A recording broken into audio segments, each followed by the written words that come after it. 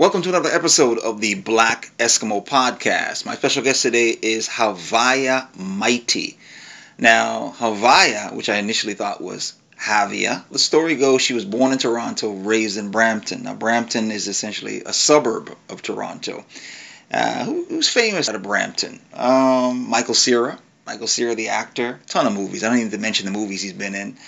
Uh, Lil X, famous video director. He's gone on to do videos with you name it. I mean, it's too many people to even mention. Jadakiss, Jay Z, on and on and on and on. I mean, Drake, all kinds of people. So Brampton's produced some some uh, some names uh, who made some made some impact in the game.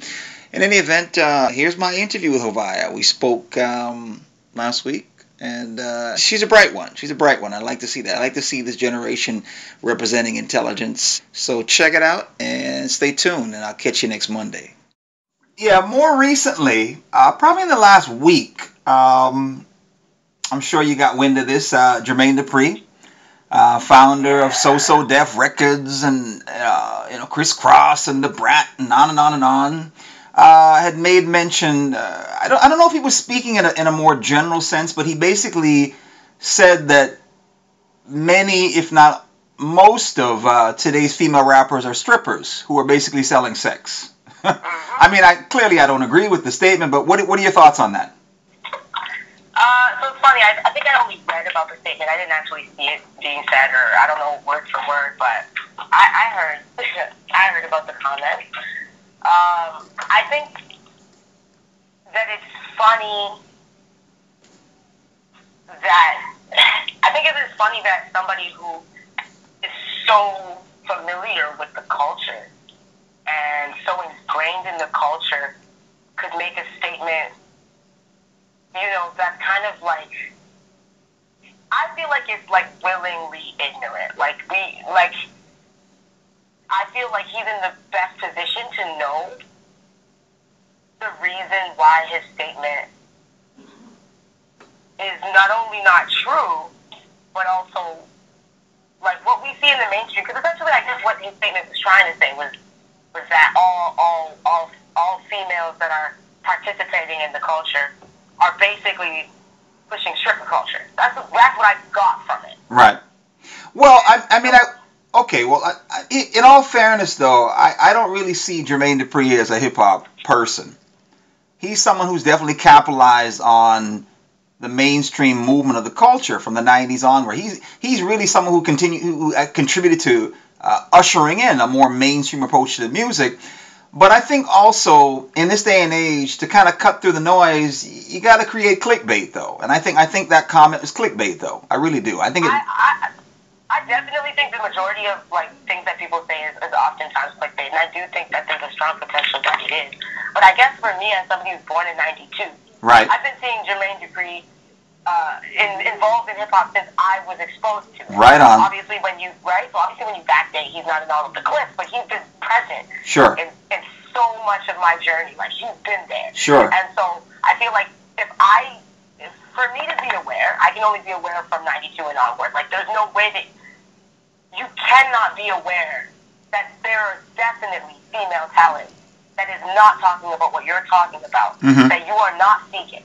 Like, we, why are we pretending that? Like, this is not somebody that doesn't know how to speak their own music. This is a person who, like, tried to uh, invent his own company based on the concept of finding new musicians. He's supposed to be this innovator of finding new sounds, and then you come up with a statement like that, which is really only related to and talking about very few females in, in, in, in a small mainstream pool. Mm-hmm. You know what I'm saying? Mm-hmm. It's like, like, I, I, they're supposed to be this cutting edge. This is just like you're contradicting what you say you are. Not even so much like what I think you are. It's just, this is what you've been showing me. This is what you've been trying to say you are. It's just, uh, yeah. I mean, I think it's you know, male male rappers are males in the industry in the hip hop industry. You know, oftentimes are very comfortable mm-hmm. um, and in saying whatever they they think. And I think, I think, I, I mean, I, I try to look at the positive. like I'm a Libra moon. I try to see like the equality side. Like what, what is the positive version of what he could have meant? You know? Right. And I feel maybe the statement is so unfair because as somebody who is an executive in the way that he is, like this is somebody who can actually effectively make the change that he's pretending to be seeking. Mm-hmm. I think that's where it comes from. Like you're not actually seeking the change because you're one of those people who could at least try to take steps towards that. You don't actually have any vested interest in that. You don't actually care. So yeah, the statement must be clickbait because for you to feel for you to make a statement as bold as that is if you have such a such a such a strong opinion. Like Mm-hmm. you really probably could care less. So I, I, I, yeah, I just think sometimes people just talk too much. They just talk too much. They just say too much, or they didn't think it through enough. Um, and I think you know it, it would be simple. It would be easy just to do a little bit of research and recognize, like, and I'm not even talking about myself, that there are a lot of artists that are talking about a lot of different things. Like it's such a saturated market now in 2019, uh, and there's there's access to all of these different styles of music, and I think you know, uh, I think Jermaine Dupri, if he were really to take the time to sit down and like think the statement through, maybe he spoke too quickly, but I think even he knows uh, uh, the, the part of the statement that is, is that is not true, and that women that are participating in hip hop are doing that. I think that he knows if he really were to take the time to think about it, that that is not a true statement, uh, and that is a statement out of ignorance, and so. I, I, I, I personally just think that it's like it's not even a question. Like it's just the fact is that that isn't true. You just have to dig deeper. I agree. I agree. Uh, but speaking of women uh, or female MCs, um, and I'm going to keep in mind that you are younger. Uh, I'm, I'm quite a bit older than you, and I go back. I go. I go back to a different time when hip hop was uh, different, different culturally in terms of integrity, artistry. But what what's your take on, or do you have a take on Michie Mee and what she means to you? Really being, uh, I would say the first, maybe not the first female MC out of Toronto, but really the most significant that I can think of going back to the 80s. What, what's your take on that? Yeah, I would say, I mean, like, again, my take would be definitely uh, a little less experienced than yours, but Mee is, is a pioneer. Mm-hmm. She's a pioneer. She's a pioneer in Canadian hip hop, period. I've had the pleasure of uh, sharing the stage with her a few times and, and, and, and having her on tour with with uh, me and the sorority. Oh, really? She's, yeah, we, Oh. we had her on one date. I think it was Calgary, or I might be mixing the data, but one of the dates that we did, uh, Michie Mee did a slot for us. She also played at our release party uh, or our like big Toronto show. Wow. 2018. Okay. Yeah. And then she had us perform, like before we became the sorority, she actually uh, had us perform at her birthday bash two years in a row. So I think her first birthday bash was like the start of like the sorority talk. It was like, wow, maybe we should, you know, make this a thing. So that was pretty cool because I feel, you know, as a pioneer and as, uh, you know, four young female rappers at the time, you're looking at a pioneer who's recognizing you and, and realizing how much further you can take it than just this cipher video or just these three performances. So it was really cool to have that. And she's just she's just an inspiration. Like she's we we talked game, we chopped it up, and she's she's so supportive of uh, the younger females that are in the game, and like she's just so so so good energy. I don't know how to explain it. You know, she just but yeah, she's definitely a pioneer. I think you know she's a pioneer in, in bridging multiple genres and, and, and bridging multiple sounds, also bringing in the Jamaican sound uh, in in I guess in a Canadian realm, a mainstream right, and like that's something that I find that I do. There's an amalgamation of sounds on my music or in my music, uh, different dialects that are used, uh, and different types of chord progressions, different types of vibes, different energies. Uh, and I feel like she's an artist that was that was doing that, and, and to be a female and to be doing that so early in the game, um, is definitely an inspiration to me. Good to hear. Good to hear. Because I, I think I look at her now and she's still acknowledged, but Michie Mee was a very big deal when I was coming up. When I think about the fact that she was making moves in America with uh, Kara Swan, with Queen Latifah, and on and on and on, she was making some major moves. I mean, she was the first person out of Toronto, even before Maestro, who was out there doing things internationally. So Mhm. definitely got to tip my hat to her. But I'm glad that you're connected to her in that way. That's a nice thing. Yeah, Um, like I would love to work with her. Okay, like do a record with her. Yeah, absolutely. I would love to. Beautiful, beautiful. Um, I'm gonna kind of kind of jump into something a little more humorous. Um, how do you deal with male groupies? I don't know. I'm still I'm, I'm, I'm exercising different methods still. Um, I'd say the main the main realm that you see that for me at the level that I'm at is Instagram. I don't know some people get at you at shows, but I actually think I have more female groupies live. Oh. You know what I mean? Okay. Yeah, like in a live setting, like females, I guess, are way more have a tendency to like just kind of like touch you and do stuff like that. Ah. Like just just hug you. You know what I mean? Like a guy will, you know, because there's still it's still 2019. We got the Me Too culture. It's kind of like, can I have a hug? Girls will just hug you. Like they don't have, don't need your permission, right? But, Right. Um, male groupies, I find more so like in the digital realm because they can kind of just shoot their shot and they don't have to think too hard about like whether this is like offensive or like they're not touching, right? So Okay, you, you gotta you gotta tell me some more of the more I guess a little more of the extreme or outlandish examples of, of what they do digitally. So what what what kind of DM mess what kind of DM messages are you getting now? The like irregular pictures that you didn't ask for, like that's. oh no! Really? Irregular. Really? Irregular. That's like an irregularity. Like that's happened maybe. Okay. Yeah. No, because I had I had a friend um, who went to university in Toronto. I went to university as well, but she told me that a guy she'd met in one of her classes sent her one of those pics, one of those pics of his member, and I thought, really? That's how you get a, that's how you get a girl? It's definitely not. Uh, I've I've actually had more people airdrop me them in public randomly than an actual groupie, which is disgusting. I don't, I, I don't know. It's like a joke or a troll thing now, but um, I guess when guys are actually trying to holler, like they're actually trying to make a, a statement, I find more so the more outlandish ones, I guess, are the ones that I'm a, I'm a nice person, so I try I try to respond to everybody on Instagram. So unless it's like if it's outwardly offensive, it's the only way I, just won't reply. If it's unintentionally offensive, I'll probably still reply, like as, as as of right now, right? So if someone's trying to holler, like I've had someone try to like reach out and like it's kind of like forward, like I'd like to take you out, I'd like to do this or whatever it is, and you just kind of say like I'm good, but thank you. Like I'm not gonna give you a reason or whatever, but like I'm, I'm good, but thank you. I, the outlandish ones are like the ones that like get upset and like have negative things to say after, like F you or I'm gonna unfollow you or like your music is this or like I never. I had I had this one guy. I guess this is less of a hollering thing, but I had this one guy who uh, I know through another artist, and she's a female artist. Right. Um, I know him through this artist, but I don't know him at all. Like I, I just know that he's affiliated with this other artist. Anyways, he's shown some like interest in my career for years and years and years, um, but just digitally. He doesn't, doesn't even live in the country. I have no idea who he is. I don't know what he looks like.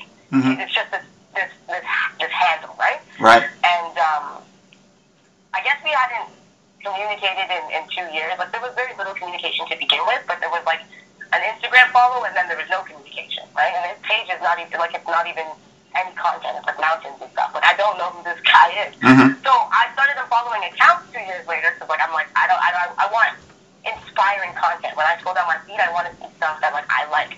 So I guess I unfollowed this account because all I saw were mountains. And so he hit me up and was like, "Yo, why did you unfollow?" Uh oh. And I guess, yeah, yeah, he like even though we didn't talk to years, he noticed the day, the hour that I unfollowed him, and then like he let maybe three hours pass, and I guess I didn't respond fast enough, Mhm. and then he just dropped this whole and like this whole thing of insults, how such and such so and so was a better artist than you. Oh no. I've been stuck. Like I was gonna get you on this tour in Europe, but now that's not gonna happen. Uh-oh. Garbage. You're not even attractive. This and that, like insulting the way that I look. Oh, insulting the way that I no. It was crazy. That's was not nice. That's not It was crazy. That's not crazy. And then recently messaged me, and then recently messaged me back, uh, like I want to say this week or something. Just say, hey, I just saw these messages, and somebody had hacked my account. That's always the excuse. Like, I'm so sorry that you had to read that, that, but that was someone else, and da da. And I'm just like, yeah, okay. well, I gotta ask Yeah. that. I mean, I, you, you don't have to answer this question, but you're kind of messing around with it in the sense that what does it take to get access to you in that way? So forget about the professional booking you on tours or collaborating with you. What if, what if a dude sees you? I mean, here's the thing. I don't know your orientation, but let's say somebody sees you and they want to get with you. Is there a possibility? Is there is there is there a, a mode of is there a particular approach required on your end or on their end? I. I, I can't say there's a particular approach. I mean, I think that there's obviously approaches that that will work on me, and I, I, that could be like a long list, but yeah, okay. no, I definitely be. I definitely would be open to the idea of somebody, but like you will just you will know, you will know, like you know, like, and so if you shoot your shot, I, you'll know. I will let you know whether it is or isn't a thing. okay. And then you know what I mean? Like I'm definitely I'm single, so I'm open to meeting people. Right. But yeah, I would say the, the, the approach is I I am a complex person. I'm a, I'm a business oriented person. My career comes first. Okay. Um, and then you know for the, for the most part that is why I'm single. I'm just so focused on you know the things that I got to do and the goals I set for myself right now. Like I'm really young right now, and I know that there's time and room for a relationship. Uh, but uh, I'm not closed off to the idea of a relationship. Um, there would just you would just need to give me an, an added element like to my life, like because I've got a lot going on already, and I think the approach would just be like, what are you adding? Like, it's just surface level is probably not going to work, like, because we could just be friends and do those surface level things. Um, yeah, and you just got to you just have to add something to to an already pretty hectic life that would make me feel like I need to make time for that thing. That's fair. That's fair. Okay. I appreciate I appreciate the answer. Um, and finally, I find that rappers today seem very fixated on fame fame and popularity in the sense that um, the music has really changed. And we, we started off, um, well, earlier in, in the interview talking about Jermaine Dupri. And I think that there's a clear distinction between rap and hip hop. I think hip hop is really the culture, it is really a more uh, integrity based representation, where I think rap is just more sell records, popularity, tour the world, make a bunch of money. Um, what's your take on that? This idea that I feel, I mean, it's just it's just how I see it. I see. I feel that rappers of today are largely they seem largely more fixated on fame and fortune than artistic integrity. What do you think? I hundred percent agree.